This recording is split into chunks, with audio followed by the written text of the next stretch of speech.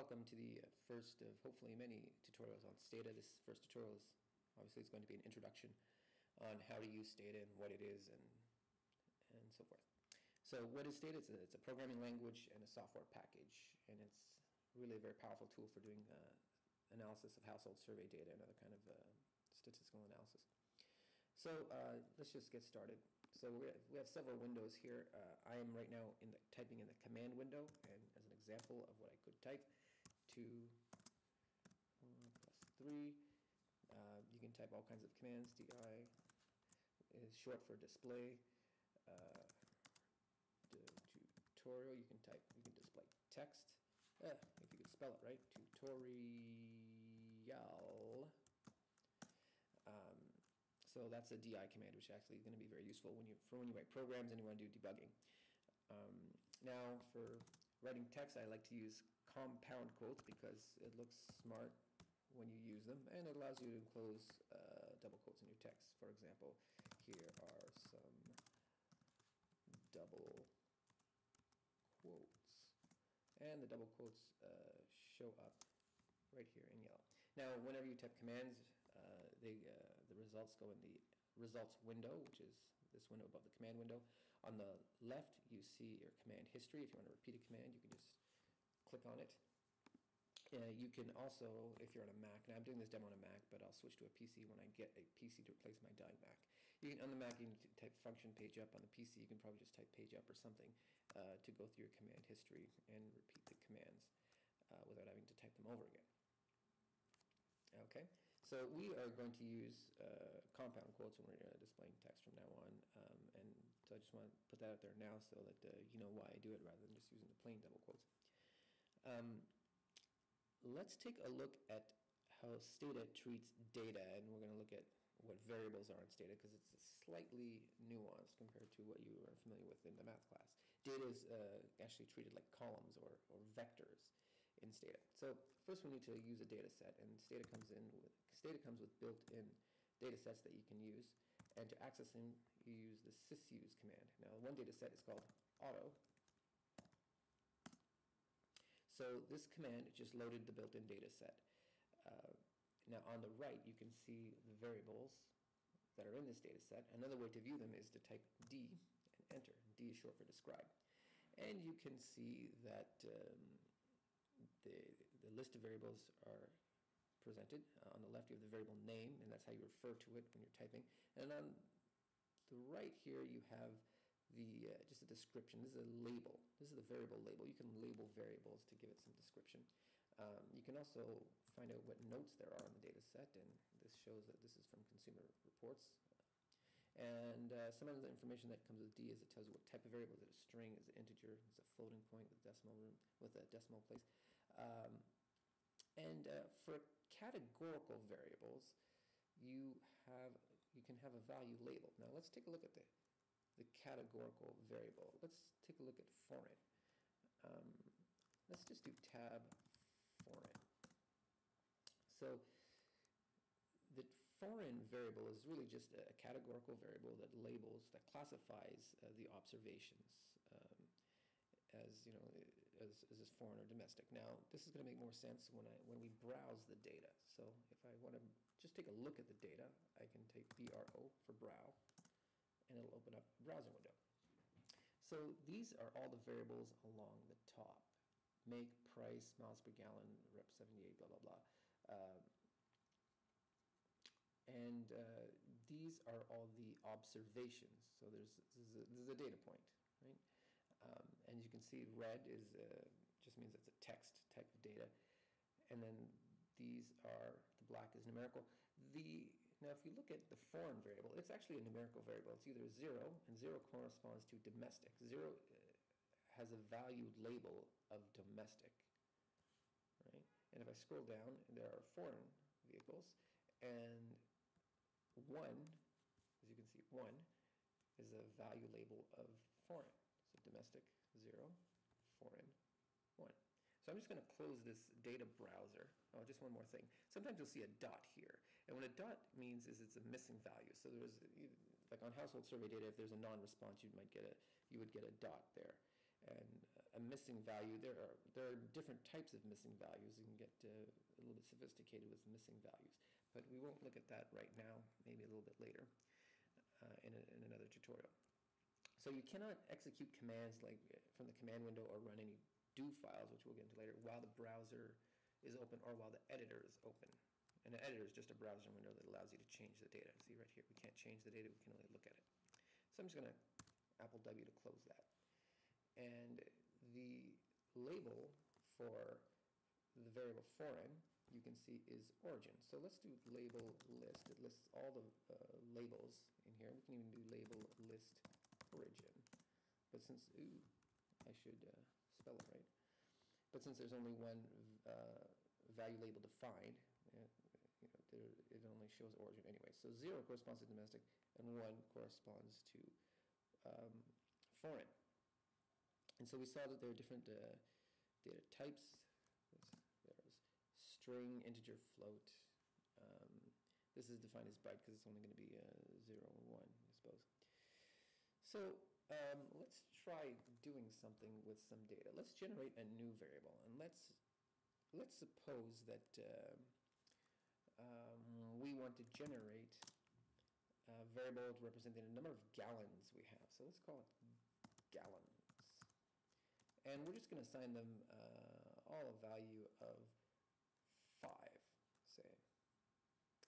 Um, or actually, let's generate all is missing. Okay, and what we'll do is we'll, we're going to change this manually. So let's do this, edit. Edit is like bro, like browser command, but it allows you to actually change the variable. So we can do, you know, 5, 5, 5, 3, 4, 7, 7. Oh, well, I've been going too fast. 6, 6, 8, 3, and I'll just leave the rest. There's a lot of entries, I don't want to do it manually. So then um, let's close the browser window. And uh, this, this shows the uh, commands that are equivalent to what I just did manually by typing into the browser. It just replaced gallons, uh, replaced certain values at, uh, at different observation numbers, right? But what I'm going to do now is just replace everything. Replace gallons equals 5. And so let's browse that. Um, see, and then all the value for gallons is equal to 5. So this is how Stata treats data. Every time you it treats variables, every time you create a variable, you, you effectively make a column vector. And uh, let's try to do something else with these column vectors. So let's close the browser window so we can start typing again. Let's, uh, now that we've actually created this variable gallons, let's label it. So label variable gallons, and let's label it with something. Um, let's call it uh, gallons of gasoline available for uh, consumption or for use. Let's that for use. Okay, so let's describe. Now we can see our variable gallons there. It's a, by default is made a floating point number. And we have a variable label now too.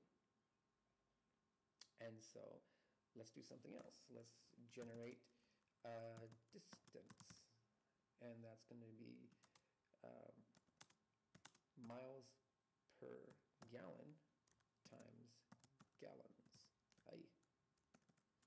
times gallons. And you don't have to type the whole variable name as long as uh, not ambiguous. Uh, if there's nothing else that starts with G-A-L-L-O, like there's no gal uh, galoons or galots, then you just type gallo.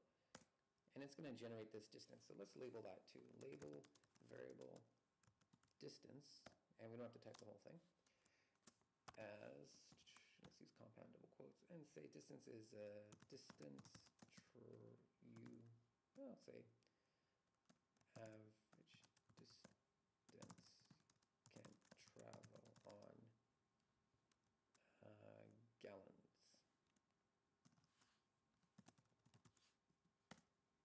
Okay, so let's describe that.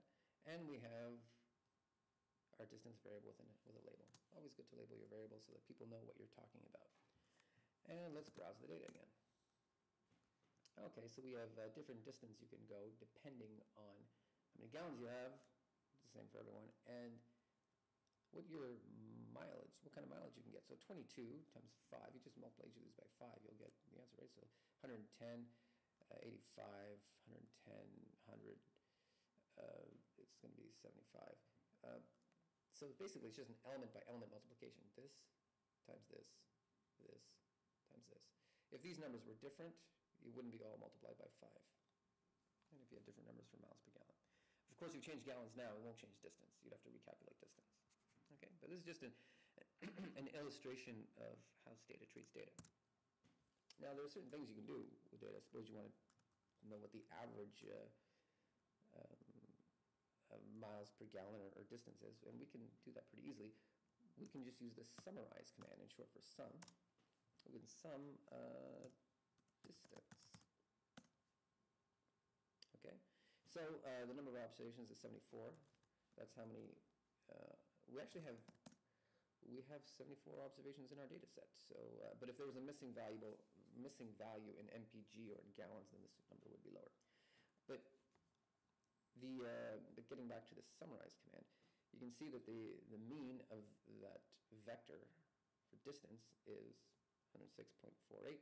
Standard deviation is, is, is given, and it has some other information like min and max. If you want more information, just put, uh, just put comma D after it, and you can get uh, percentiles and uh, a few other things.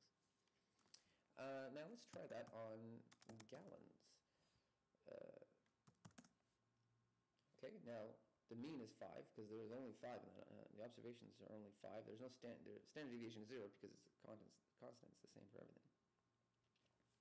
Now, suppose we want to do something, uh, suppose we want to know what the uh, miles per gallons are, Sum MPG. And we see that, we can see that the average uh, miles per gallon is 21.3 about. Now, what about for, if we want to divide by foreign domestic? So let's try that. Sum MPG if foreign equals zero. This is for um, domestic vehicles. I, sum MPG if foreign, did I spell it wrong? Sum MPG if foreign, ah, double equals, yes. Comparison requires a double equals.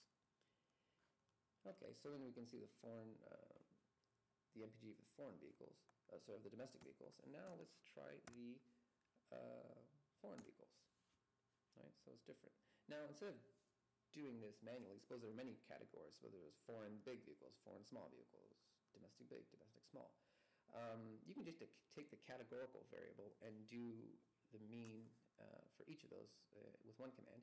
It would be bias, by sort. So you do it by uh, your categorical variable, foreign, and so and S means sort because uh, Stata likes to have things sorted before it, well, Stata requires that certain things be sorted before actually does certain calculations. And then we can do sum uh, MPG.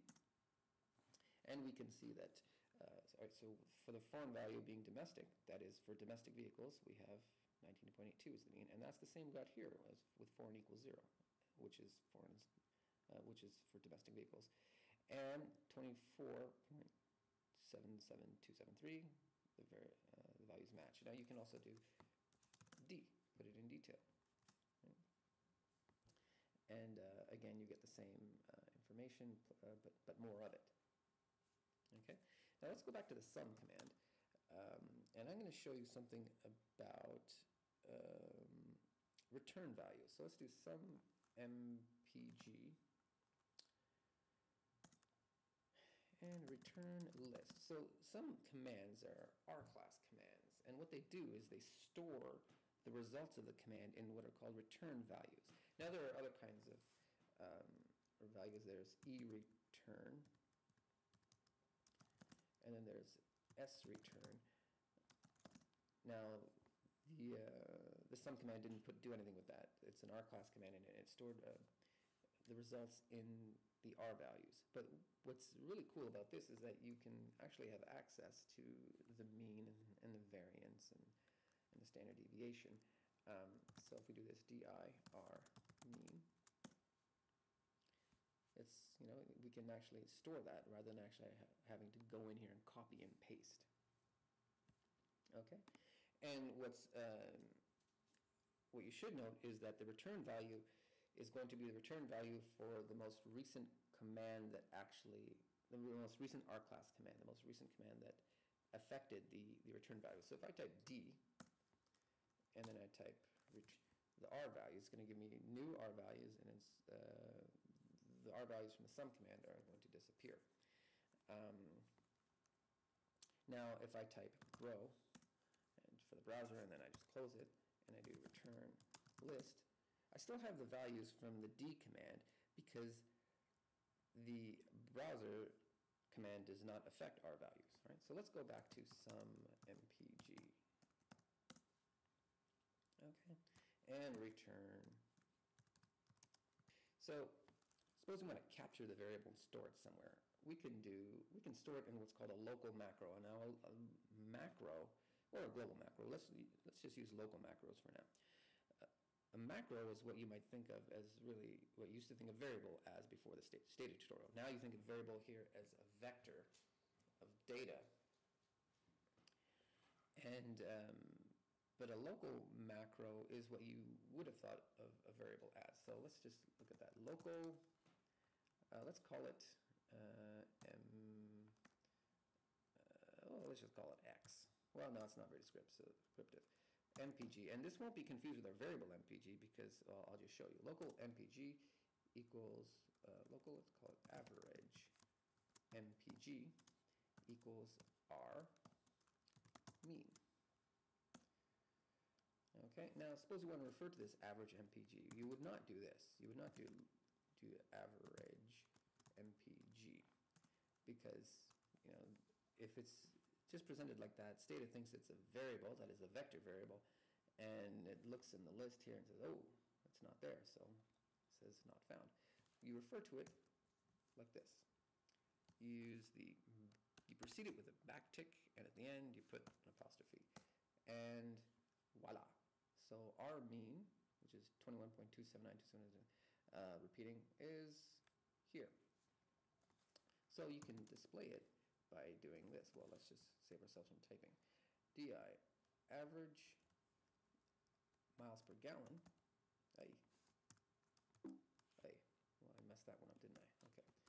Uh, DI, average miles per gallon.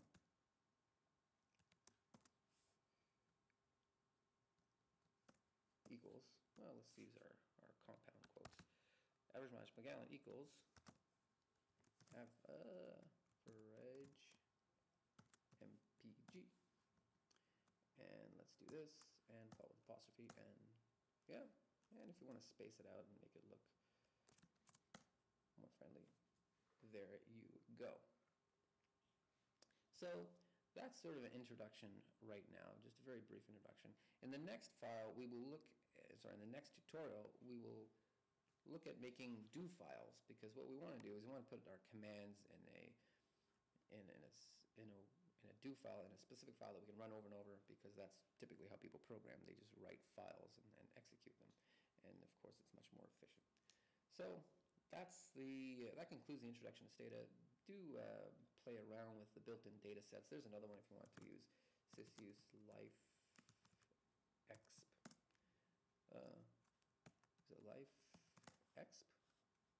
Ah, okay. Well, I'll just give you one more lesson. If you want to start using um, different data sets, you have to explicitly say to Stata, clear the data set if you already have a data set in memory.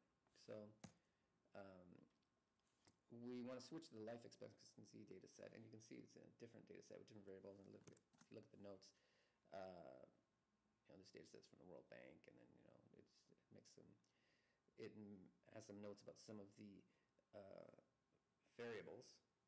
If you look at this, the region, country, pop growth, these are all explained. Region, country, average annual growth. Safe water, um, you don't really know what it is. It isn't but a variable label. They put it in the notes for some reason. So if you do a note, and you can look at safe water. Okay, access to safe water. Percentage of population has access to safe drinking water. Um, so anyways, there's just another data set that you can play around with. And if you want to load different data sets, you, uh, you should use the clear option after using, uh, with a comma, with a comma. And then you can just play around with different data sets and do sum and tab. Um, tab is good for categorical variables. And then you can do cross tabs. You can do like, you know, if you have two categorical variables, you can do tab foreign in the second categorical variable. This doesn't have it just yet, uh, but we'll look at using other data sets that do have it. And uh, hopefully we'll start using a, uh, a household survey, household survey data set in, uh, in a tutorial soon. Okay, so that's it. Good luck and looking forward to uh, the next tutorial. At least I am. I hope you are too.